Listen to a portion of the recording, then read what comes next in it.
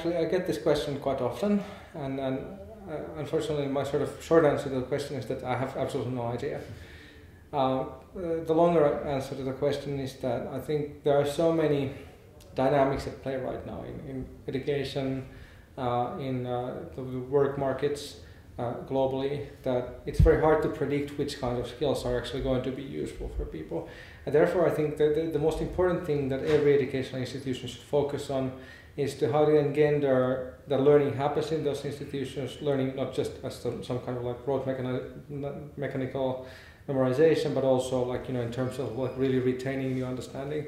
And that what I envision as the future of educational institutions is that they would be able to provide every single person who goes through those institutions uh, with the understanding that they're capable of learning new things because I think that's going to be the crucial thing. We can't really predict which, you know, for example, which types of work will be uh, out there in 2030. It all depends on developments in things like artificial intelligence, robotics, uh, like software design, uh, user experience design. All, all these things have a huge impact on what kinds of things actually become reality and not just like, you know, hype or, or fantasy. And I think, like, rather than trying to predict which skill sets specifically will be useful in 20 or 30 years, I think we should more shift to this idea that we have a capacity of retraining ourselves, not just you know the future generations, but also us. Uh, that we have the capacity of, of, of ongoing, lifelong, life-wide learning, like learning that happens day in, day out uh, learning that happens not just in school but like through their, their entire professional career. Uh, learning that will be inte- integrated in the workplace that like you know that the workplace would provide you with opportunities to to retrain yourself for example like you know if, if um, a logistics company replaces all, all, all of their fleet of trucks with uh, automated trucks then you would be able to retrain the, the, the drivers uh, the truck drivers to new, new types of things mm-hmm.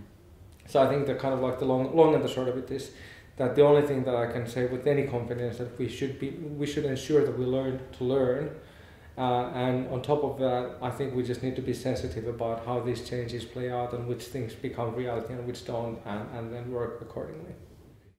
Yeah, it's it's possible, and if you think about games in general, it's already been done.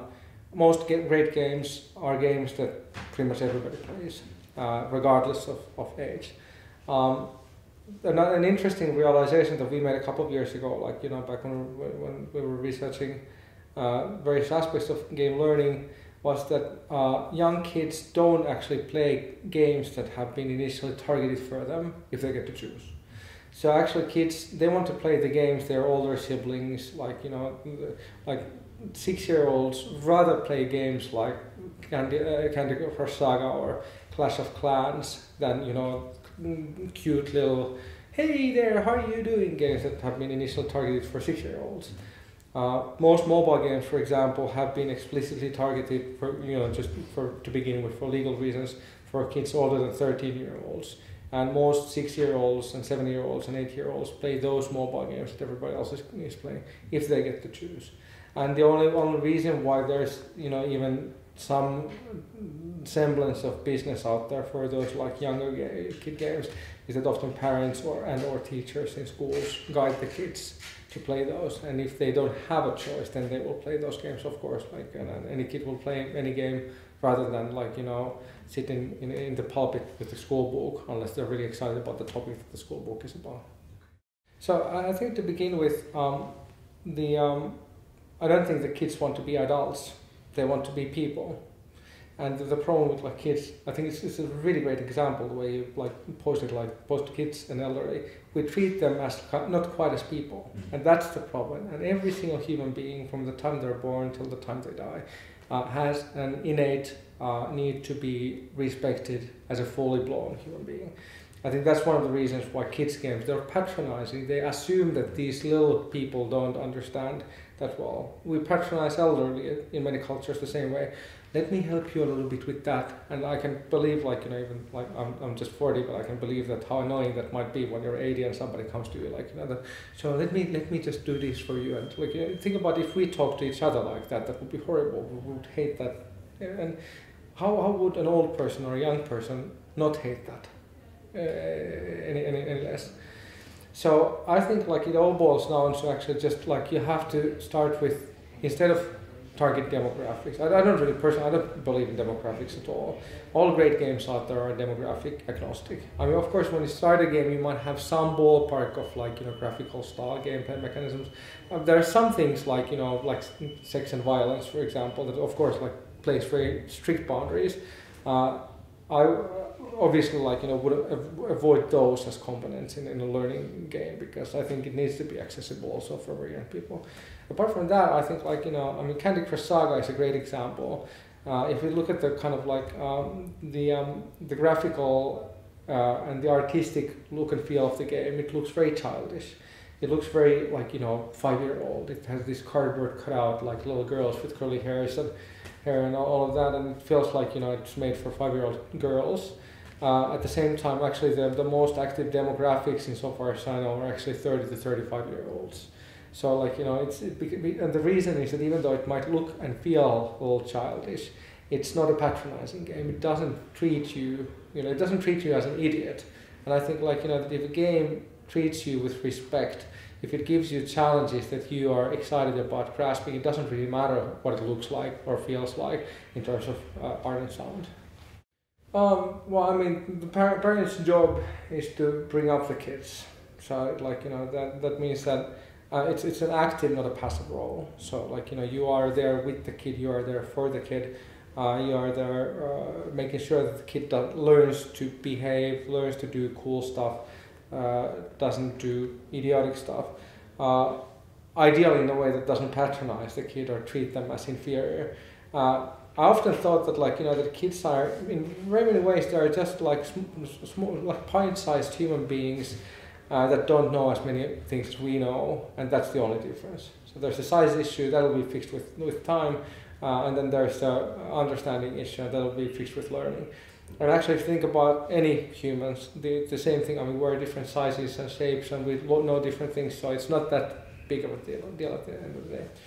Uh, as it comes to the parent responsibility in games, I think parents do have quite a big responsibility uh, in uh, regulating gameplay uh, and game usage. Uh, game addiction is a very real thing. There's like you know substantial, for example, one out of ten Hong Kong kids, you know, recent research that I read, uh, are severely addicted to video games, and that's like it's not a good condition. Any like a severe addiction is not a good condition to be in.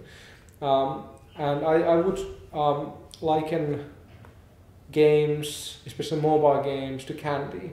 It's something that like that's amazing. That's really good for you in moderation because it gives you this like little highs and this like amazing like you know little sprinkle of like fairy dust in your life.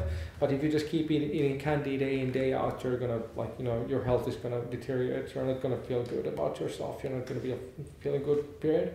And if you if you take a look about for example the um, mm, the dynamics of like neurotransmitters, what happens in the brain when people play games, is quite similar to, to, to you know, for example, in terms of, of dopamine metabolism, it's quite similar to things like candy or, or like, you know, or, um, well, I, I wouldn't want to say like drugs because but maybe like candy or alcohol or things like that. I think the drug metaphor is too, too hard because at the end of the day, like, you know, it's not nowhere like sort of like the impact is nowhere in the same ballpark but it's the, it's the same sort of circuits that are being activated in brain. And i think like having said that it's very important for the parents just like they need to regulate the intake of candy they need to regulate the the uh, amount of time kids play with mobile games the way they need to regulate or us we need to regulate the um, the, the time people kids spend, uh, spend on tv and I think it all boils down back to also that, you know, like Peter Vesterbacka, um, my co-founder or one of our co-founders at often says that, that like, you know, in Finland, uh, kids are people too. And that's kind of like, you know, the sort of like the credo or the kind of like the, the basic idea there that, that we need to understand that all of the above, all of the, those things that I said applies to us as well. And there are like, you know, there are several adults as, out there as well who are super addicted to video games or candy or TV or like whatever.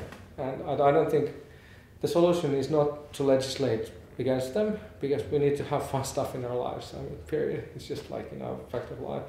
Uh, but we need to be. I think the parents' responsibility is to help kids grow into adults that can self-regulate the fun stuff.